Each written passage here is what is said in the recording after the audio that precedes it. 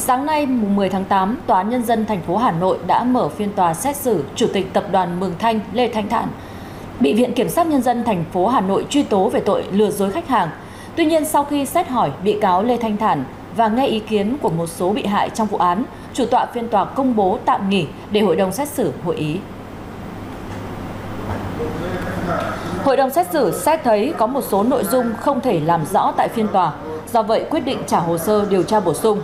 Tòa thông báo cho những người bị hại, người liên quan chưa có lời khai, chưa trình báo thì liên hệ cơ quan điều tra công an thành phố Hà Nội để gửi đơn, nộp tài liệu chứng cứ đưa vào tham gia tố tụng trong vụ án này.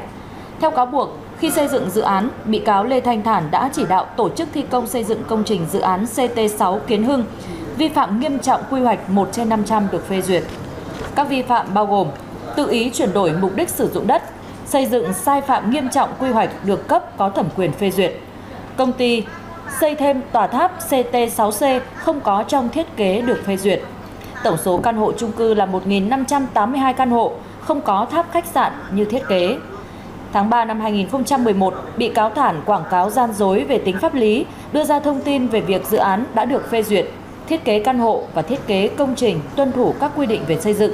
Giá bán căn hộ đã bao gồm giá trị quyền sử dụng đất.